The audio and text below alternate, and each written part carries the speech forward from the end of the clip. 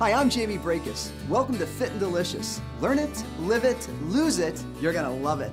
That's all it takes to make a change. Today, we begin with Fitness Fusion and a combo of ideas and workouts and a special message from Jack LaLanne on self-improvement. Then it's the healthy version of zucchini bread from Chef Dani. Then we'll learn how to measure progress without a scale with a follow-up from Dani and how to stay motivated for the long haul. And I'm back with an easy way to exercise by sitting to stay fit.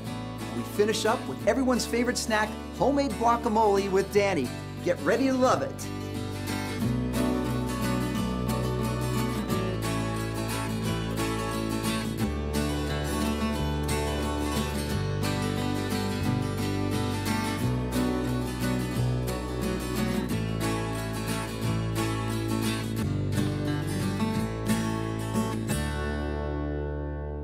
Learn it, live it, lose it, you'll love it. The process of change happens slowly. By doing a little bit each day, you can build on your successes. By starting with just one or two goals, you can easily ingrain a new habit into your life and have daily victories. These little things that you can change today will change your life without turning your life upside down. Let's learn a little fitness fusion.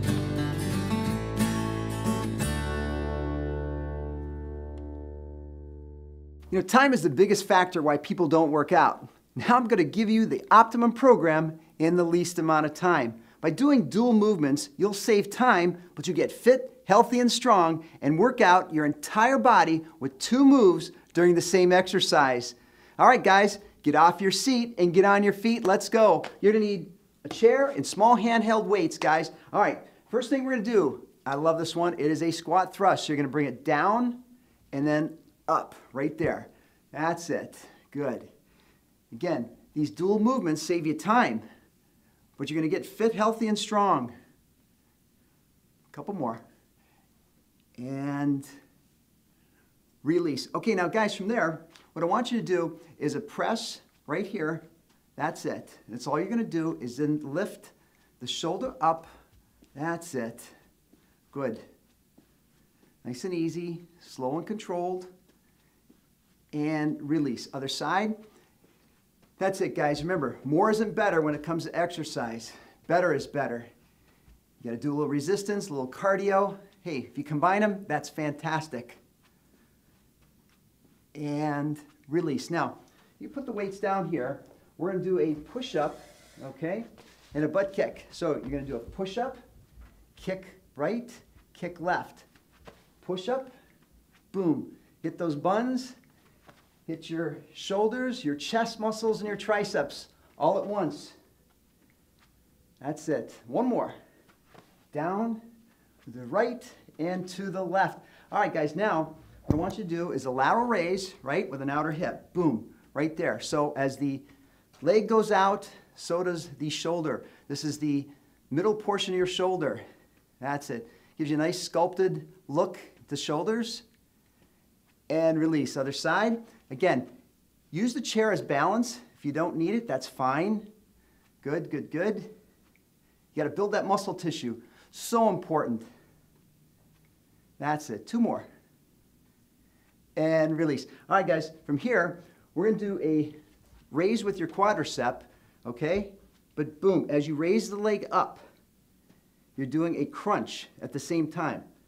That's it. So you're working your abs, give you a slimmer, trimmer, tighter waistline. That's it. And release. Other side. So let's bring this over. And then up. Right there. That's it. Got to keep moving, guys. If you rest, you rust. That's it. A couple more. Three, two, and one. Okay, so now we're going to do a bicep curl, okay? But it's a stationary lunge. You're here, down, down. That's it. That's right, guys. If you're snoozing, don't, don't, don't rest, guys. We can't have that, right? Because getting fit never gets old. You gotta just keep moving. That's it. And release. Other side, right here. Boom, down. There you go. That's it. You worked your biceps, your quadriceps, your hamstrings, and release. All right, guys, right here, a deadlift. Down, up, that's it. Good, this works your back, your hamstrings, your buns. And release. All right, right here, tricep with a reverse lunge. There you go. Five, four, three, two, one. You did it. Fitness fusion. Way to go, guys. And now we have words from fitness past from our mentor, Jack LaLanne.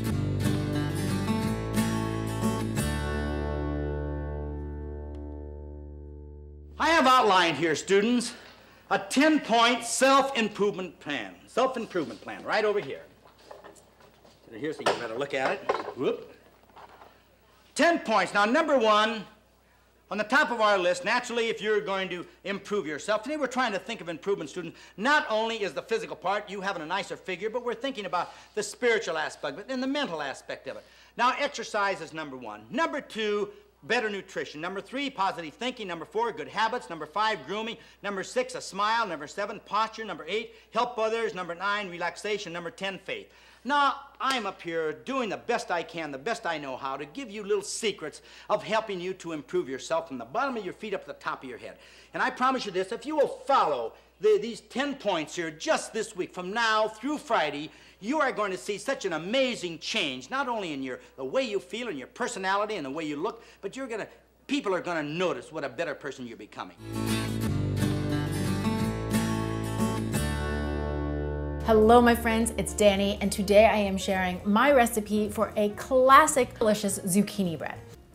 Mmm, mmm. So the first thing that I'm gonna do is preheat my oven to 350 degrees Fahrenheit and then I'm gonna grease my loaf pan. I've got a nine inch loaf pan and I'm just gonna rub a little bit of coconut oil on the inside to create a nice light coating. You could also do this with butter or a little bit of cooking spray. Next, I'm going to use a box grater to grate my zucchini. So I'm gonna need one and a half cups of grated zucchini, which is like one large or two smaller zucchinis. And what I like to do is use the smaller holes on the box grater. This way, you're gonna keep the zucchini nice and fine, which is gonna ensure that you don't end up with any big chunks of zucchini in your bread. And just a side note, zucchini does hold a lot of water, but we are not gonna strain that off of the zucchini because we're gonna use that as an extra liquid in the bread, which is gonna add some more moisture. Once I have the zucchini all ready to go, I'm gonna combine my wet ingredients, starting with two eggs, third of a cup of melted coconut oil. What I like to do is I'll just scoop it out and then I melt it in the microwave and then I measure it.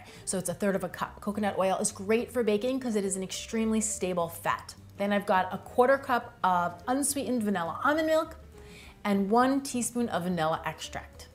Gently whisk that all together. You just wanna mix until you've got all of those ingredients combined. And then I'm gonna push that aside and pull in a nice big bowl to combine my dry ingredients. Starting with one and three quarter cup of white whole wheat flour. And remember, white whole wheat flour has the same nutritional value as regular whole wheat flour. It just happens to be a little bit lighter in color and the texture is a little bit softer and more fine. And so what that does is it creates a much lighter and fluffier end result, which is why I like to use it for my baked goods. Then a half a teaspoon of kosher salt, one teaspoon of baking soda, one teaspoon of cinnamon, a little bit of fresh nutmeg, about a quarter teaspoon, and then finally, a half a cup of coconut sugar. Now I like to use the coconut sugar. It's a little less refined than white sugar and it has some micronutrients in there. But if you don't have it on hand, you really could use any type of granulated sugar that you have. And just note that I'm only using a half a cup of sugar for the entire recipe. So this is not a super sweet zucchini bread. It's perfectly sweet in my opinion. But if you want it to be a little sweeter, you could add an extra quarter cup of sugar or an extra quarter cup of honey or leave the sugar as is and stir in some raisins or some chocolate chips. Then I'll just gently toss all of the dry ingredients together, make sure that they're mixed really well. And then I'm gonna pour the wet ingredients into the dry ingredients and gently mix this until it's just combined. You really don't wanna over mix it, so as soon as you see everything come together, it's ready to roll. And then my final step is to add that shredded zucchini into the bowl and a half a cup of chopped up walnuts. And again, gently stir that together. Pro tip, when buying walnuts at the grocery store, look for walnut pieces or pre-chopped walnuts. They are less expensive than the whole walnut halves, and when you're using them in recipes like this, it saves you an extra step because you don't need to chop them up yourself. Once I've got my batter ready to roll, I'm gonna transfer it into my greased loaf pan And then I love to top this bread off with a few extra walnuts over the top. Not only is it beautiful, but it lets whoever's eating it know what's gonna be inside. Then this goes into my oven for 50 minutes or until it is cooked through. Now every oven varies, so the real test is one, when your kitchen starts to become very fragrant, your bread is just about done. And two, just take a toothpick, stick it right in the center of the bread, and if it comes out clean, you know your bread is ready to roll. From here, you wanna let the bread cool completely, and then what I like to do is just loosen up the sides, pop it out of the bread, and slice and enjoy. Now I love enjoying this bread just the way it is. Sometimes I'll warm it up in the toaster and then top it with a little bit of cream cheese over the top, but really it is simple, it's delicious, and it is a seasonal favorite in our house. Mmm, I cannot wait for you all to try this recipe. And when you do, please do me a favor and snap a picture, tag me on Instagram and Facebook. Thank you so much for watching. I'm Dani Spies. Cheers. Instead of getting angry at what the scale is saying, take a minute to think about what the scale is not telling you, like what a strong and healthy individual you're becoming. It's motivating when you feel the joy of putting on those fit jeans that you feel amazing in. Your jeans and clothes are much more effective and powerful measurement than the scale. They'll absolutely tell you if your body is changing in the right direction. It's pure physics. When you exercise, your muscles take shape. Your body transforms, becomes more contoured and tight, Hence, your clothes begin to feel looser. The scale might not register this because you've been building lean muscle while you're exercising. And everyone thinks muscle weighs more than fat. This is not true. Five pounds is five pounds. Five pounds of muscle equals five pounds of fat. However, muscle is dense. Muscle takes up less space in your body, so the scale will not reflect your progress. I want you to take out a pair of pants that fit snugly before you begin your new lean, healthy habits. Take a picture with you in them for as much as you can squeeze into them. In three short weeks, I want you to try them on again. Notice the way they fit. A little looser? Are you able to ease into them standing up when before you had to sit or lie down to yank them over your legs? This is sure sign of progress towards a leaner you. What about an old fitted shirt? Notice how it's a little loose around your waist or arms. Also look for improved muscle definition when you check out your body in the mirror or how you're sitting more comfortable in a small chair. All this is measured without that dreaded scale. Now take your measurements on your waist, arms, thighs, and hips. Even if you're not losing pounds, you've very well be losing inches all over your body as your figure slims down and tones up with muscles. Other non-scale victories include a reduction of blood pressure or cholesterol, heart rate, and body fat percentage, or how you're lessening your chances of diabetes. Not only will you be able to work out for longer intervals of time, but everyday chores will also become easier. Think of all the daily activities you're going to do with more energy for grocery shopping, walking up the stairs, house cleaning, cutting the grass, or playing with your grandkids. Your hard work will come with a few other non-scale victories, like a boost in self-esteem, confidence, and happiness. Just because the scale has stopped moving doesn't mean that you've hit a plateau in reaching your goals. Don't give up out of frustration. All healthy behaviors are well worth the effort. Whether it's better sleep at night or more energy throughout the day, start listening to the signs your body gives you that all your hard work is paying off. Those are victories without the scale.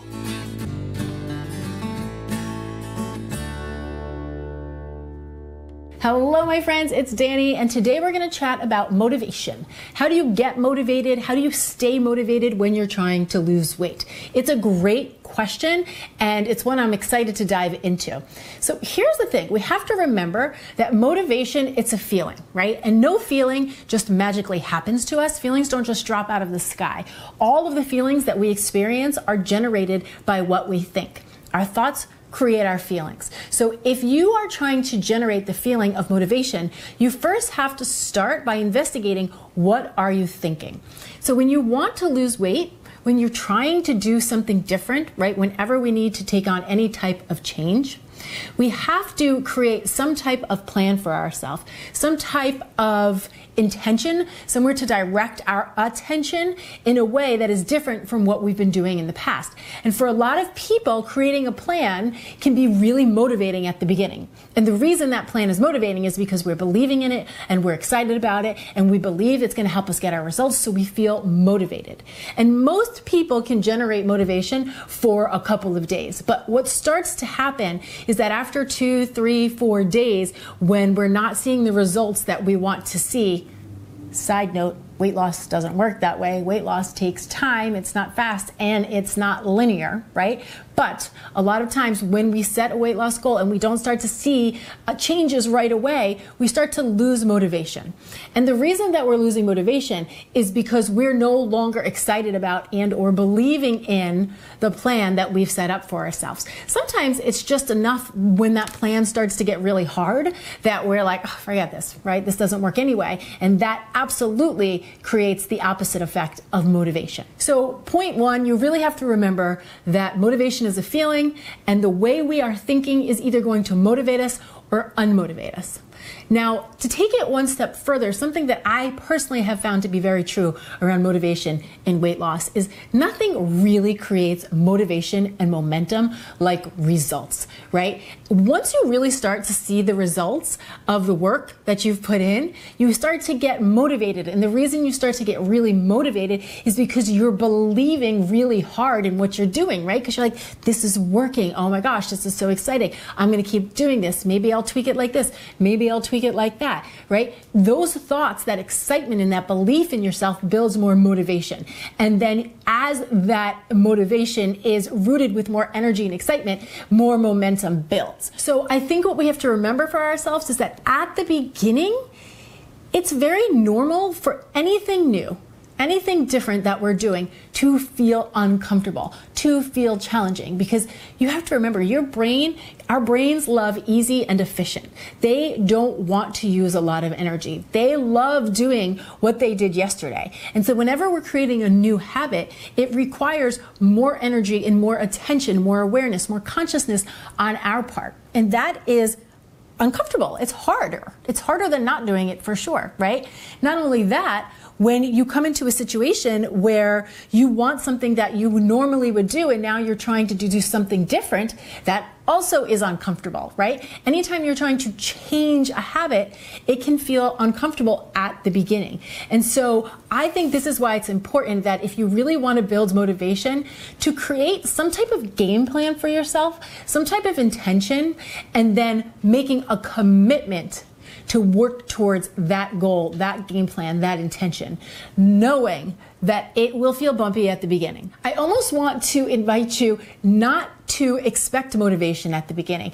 Don't require motivation as a means to get you into action. Be willing to take action when you're not motivated. Because honestly, if we all sit around waiting to be motivated, it's very unlikely that we're going to make a lot of progress. Because again, it's hard to maintain that motivation when we're doing something new and different with just the power of our mind.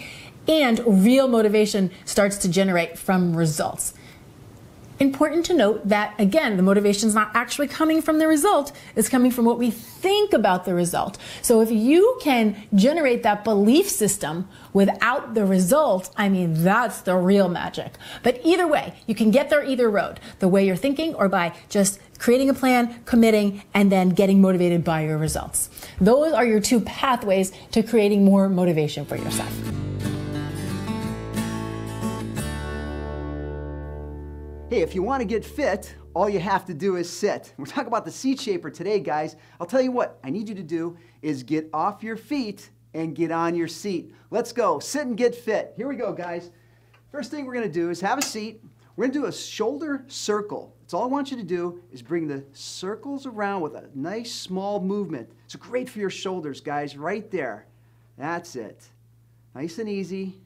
Now let's reverse that. There you go.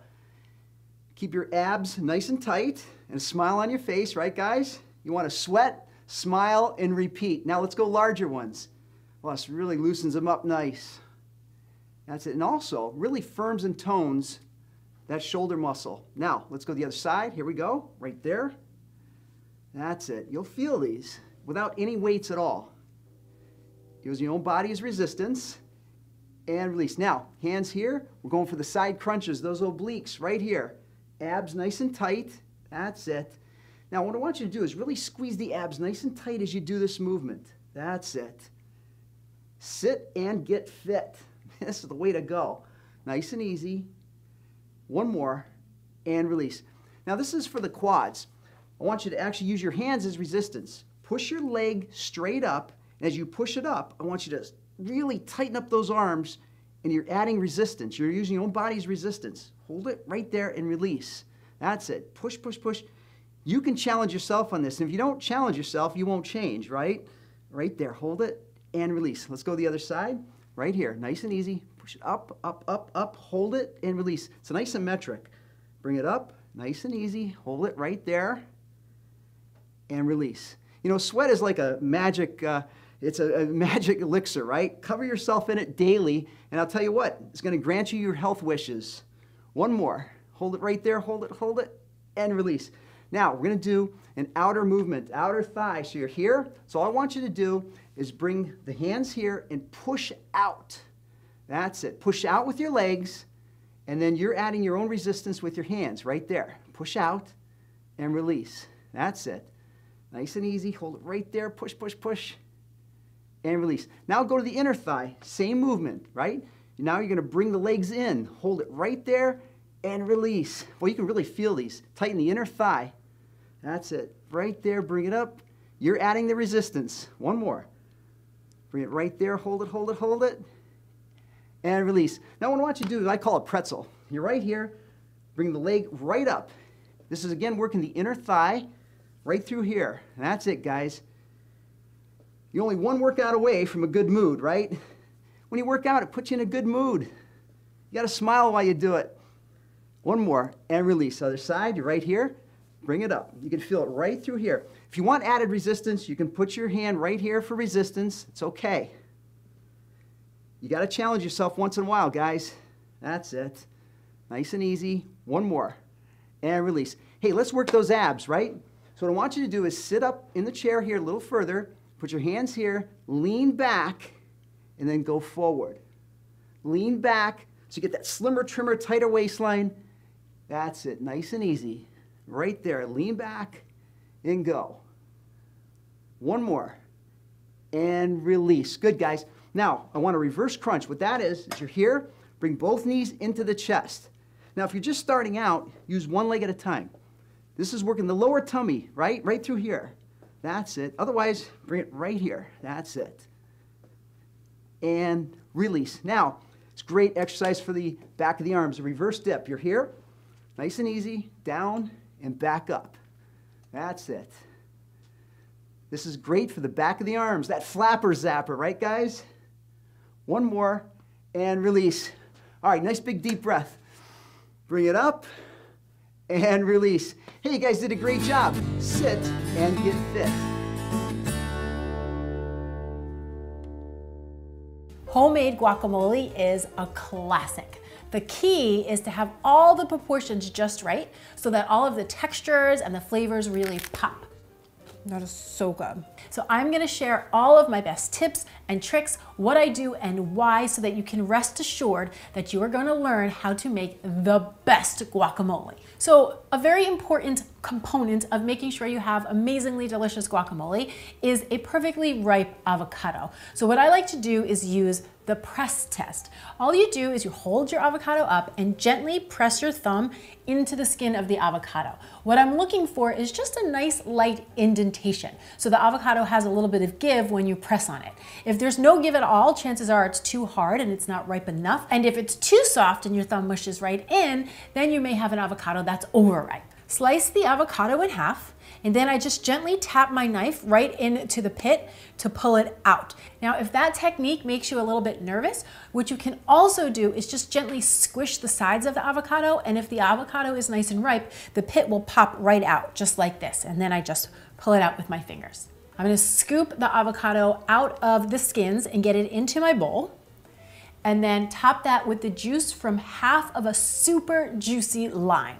And then using the backside of my fork, I'm just gonna gently mash the avocado along the sides of the bowl until it's nice and creamy. Now, just a side note, this recipe serves anywhere between two and four people, depending on how you're using it, but it can easily be scaled up or down. Then I'm gonna add in a quarter cup each of finely diced onion and some diced tomato. Now for my onion, I like to use a white onion because it has a nice mild flavor and it adds a great texture without being overpowering. If you wanted something even more mild, you could swap the onions in for some sliced scallions. Now for the tomato, I recommend choosing the most beautiful in-season ripe tomato that you can get your hands on. And first what I like to do is remove the seeds. This way we don't get um, the wet seeds in the guacamole to water it down. And then chop it up. Next up, we have our garlic. Now you could do one to two cloves of garlic depending on how much you enjoy garlic, but definitely you wanna use a garlic press. This gets all the juices and the flavors from the garlic and it ensures that nobody eating your guacamole is gonna get a big hunk of garlic in their mouth. Then I'm adding in a couple tablespoons of chopped fresh cilantro. Now, whenever you're chopping your cilantro, you wanna cut off the big thick stems towards the end, but the thinner ones towards the top are perfectly fine. And then I've got just a little bit of chopped up green bell pepper. Now, traditionally I would do jalapeno pepper, but because I don't want the guacamole to be spicy, because I want to keep it family friendly, AKA I want my kids to eat it, I find that swapping in some green bell pepper works brilliantly. This way we still get the great crunchy texture with the pepper flavor, but we don't have any of the heat.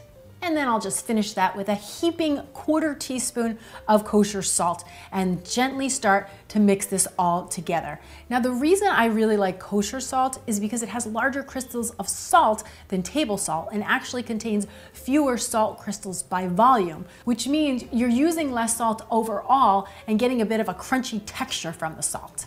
Once I've got everything mixed together, I'm just gonna transfer this into my serving bowl and this guacamole is ready to go. Now the obvious choice is to serve the guacamole with some corn chips. So simple, so delicious, such a classic and you can bring it along almost anywhere for any occasion. Thank you so much for watching. I'm Dani Spies and I'll see you back here next time. Cheers. Hope you have those four L's down pat. Next, it's time to learn about the ways to fuel your body the right way on Fit and Delicious. For videos, tips, and the 8-day challenge, visit fitanddelicious.com.